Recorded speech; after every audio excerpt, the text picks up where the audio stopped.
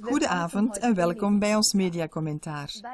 Tijdens de jaarlijkse bijeenkomst van de Organisatie voor Economische Samenwerking en Ontwikkeling, op 4 december in Basel, uiten de Duitse minister van Buitenlandse Zaken Steinmeier en zijn Amerikaanse collega Kerry nog maar een scherpe kritiek tegen Rusland. Ze veroordeelden herhaaldelijk de annexatie van de Krim bij Rusland als een daad tegen het volkerenrecht. President Poetin van Rusland had kort daarvoor in zijn jaarlijkse rede opnieuw het optreden van Rusland uitgelegd. Poetin beklemtoont dat de opname is gebeurd in volledige overeenstemming met het volkerenrecht. Het schiereiland in de Zwarte Zee heeft bovendien een grote culturele en heilige betekenis voor Rusland, zoals president Poetin zich uitdrukte, vergelijkbaar met de Tempelberg in Jeruzalem voor de islam of het jodendom. Wie heeft nu gelijk en wat zegt het volkerenrecht hierover? Een blik in de Charta van de Verenigde Naties verschaft duidelijkheid. Daar wordt in hoofdstuk 1, artikel 1, paragraaf 2 vermeld op welke manier de wereldvrede en de internationale veiligheid moeten worden gehandhaafd. Ik citeer. Er moeten vriendschappelijke relaties worden ontwikkeld, steunend op de hoogachting van het grondbeginsel van rechtsgelijkheid en zelfbestemming van de volkeren. Einde citaat.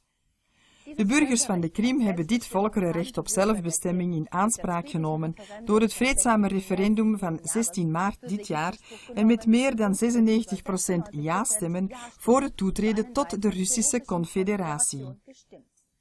Rusland heeft alleen zijn ja-woord gegeven bij deze wens tot aansluiting, vergelijkbaar met de toestemming bij een huwelijksaanzoek. Het losmaken van de Krim van de staat Oekraïne richtte zich dus niet tegen het volkerenrecht, maar hoogstens tegen de Oekraïense grondwet.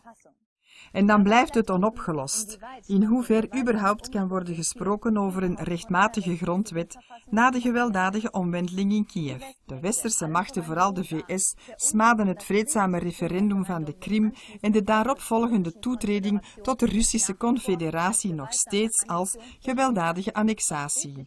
Dat komt meer overeen met een verkrachting in plaats van met een bruiloft. En met deze vermeende Russische agressie worden ook tot op heden de sancties tegen Rusland gemotiveerd. Een einde van de sancties is niet in zicht, maar veel eer een verscherping en met dezelfde verwijten. Met het oog op de geciteerde VN-charta en het vredesproces lijkt de bedoeling van de Oekraïense regering om de Krim terug te veroveren volledig onaannemelijk. Dat zou alleen mogelijk zijn door een direct militair meningsverschil met Rusland en dat zou duidelijk moeten worden veroordeeld als agressie, tegengesteld met het volkerenrecht. De westerse massamedia zwijgen echter eensgezind bij dit gevaar. In plaats daarvan schuiven ze met ijzeren standvastigheid alleen Rusland de schuld van de crisis in de schoenen. Ondertussen plannen regeringsafgevaardigden in Kiev om een nieuwe versie uit te werken van hun strategie voor nationale veiligheid en militaire doctrine. De sleutelprioriteit is in tegenspraak met het vredelievend referendum van 16 maart. Herstel van soevereiniteit van de staat Oekraïne op het grondgebied van de Krim. Dames en heren, Klaagmuur TV heeft in de loop van het jaar al kritisch van gedachten gewisseld over de explosieve thematiek van de Krim. Door het verder verspreiden van onze uitzendingen verschaft u ook gehoor aan de tegenstem van de eenzijdige berichtgeving van de westerse media. Hartelijk dank en tot ziens bij Klaagmuur TV.